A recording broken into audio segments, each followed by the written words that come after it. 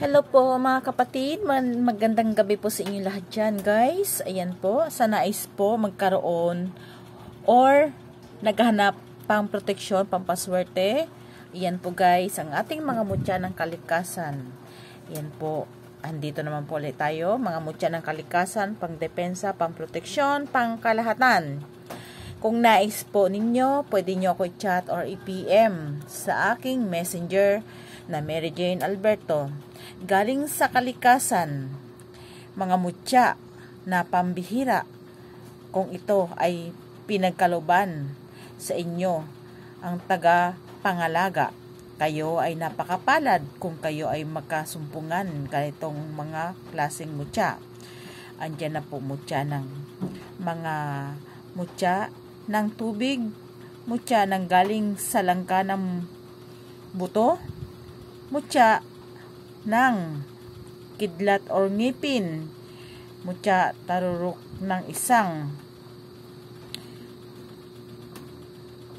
manok.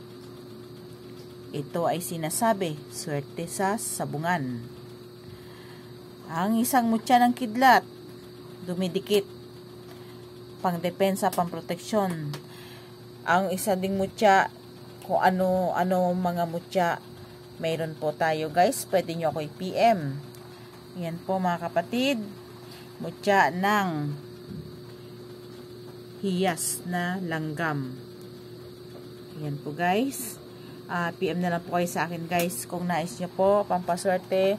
Lahat po ay, kada items po ay may mga previous ipagkakaloob sa inyo. PM lamang guys sa nais po mangalaga or magkaroon pa ng pampaswerte Ngunit ang ating pampaswerte ay isa lang po tumutulong sa atin. Kailangan din po tayo kumilos para lalong seswertihin. Yan po mga kapatid. Uh, ang ating mga mutya kailangan din alagaan mabuti at pakainin ng dasal. Uh, ibilad sa liwanag ng buwan para ito ay magkaroon ng maganda or mas humigop ng enerhiya at para ito ay lumakas lalo ang kanilang mga aura mutya ng kalikasan. Ang mga naniniwala ay swerte. Yan po guys. Maraming salamat po sa lahat. PM na lang. Missy Jane Albert, uh, Mary Jane Alberto.